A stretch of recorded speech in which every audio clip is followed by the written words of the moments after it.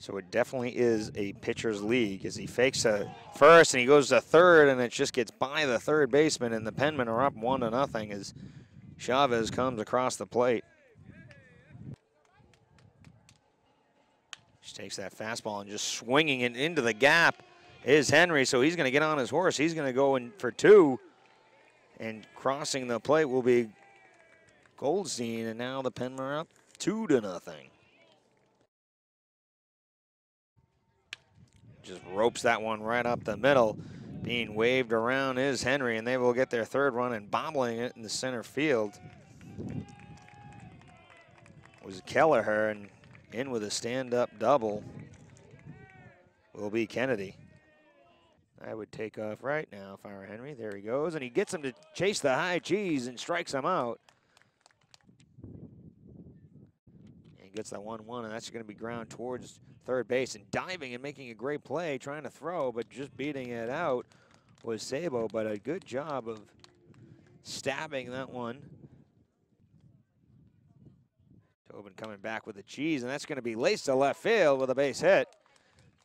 Is wild, and now Skyhawks have another runner in scoring position. Just itching for a base hit. That one's just going to be rolled right towards the third baseman. Corrals it, throws high, but they said he's off the bag, and now the bases are jammed for Quinn. So he's got him on that curveball twice already. I'd come back with it, same spot, same playground. Just had the off speed, and that's going to be a single up the middle, and it's going to score one, possibly two. And rounding third and heading for home is Wild, and just like that, the Skyhawks are back in this ball game. Throws that one flat, and that's going to be single up the middle again. Rounding third and heading for home. No play at the plate, and this ball game is tied. As Downey gets himself an RBI as Robbie Duarte crosses the plate. That was just going to be an off speed and a great pitch by White to get him to go.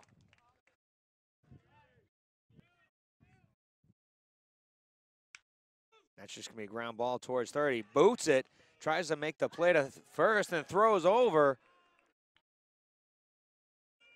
And now that ball, they're going to say, is out of play. So runner's going to hold up, but Penmen have taken the lead four to three. And no, folks, I'm not stuck in a tornado. That's just the wind. And that one's going to be a base hit single and staying at third, but crossing the plate is Doherty, and staying at third is Faircloth. And Morales gets his RBI.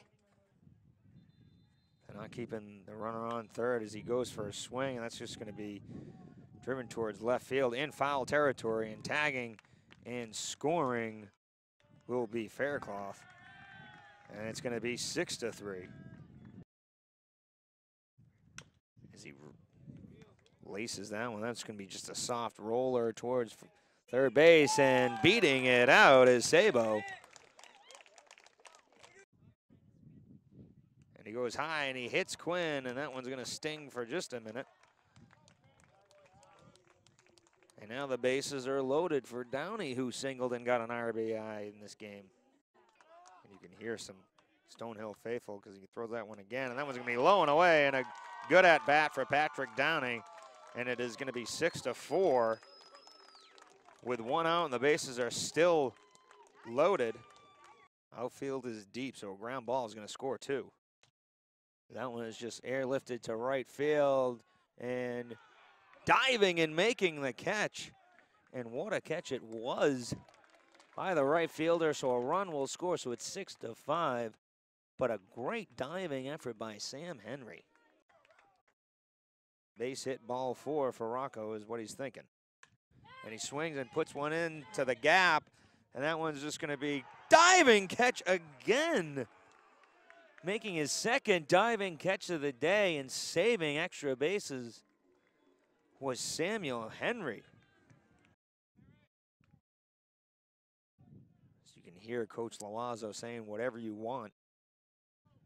Having a lot of faith in their closer as he swings and misses, and it's foul tip, and Morales catches it, and that will do it as Penmen hangs on and wins this ball game, this NE10 ball game of six to five on top of Stonehill College. So they take two of three for the weekend.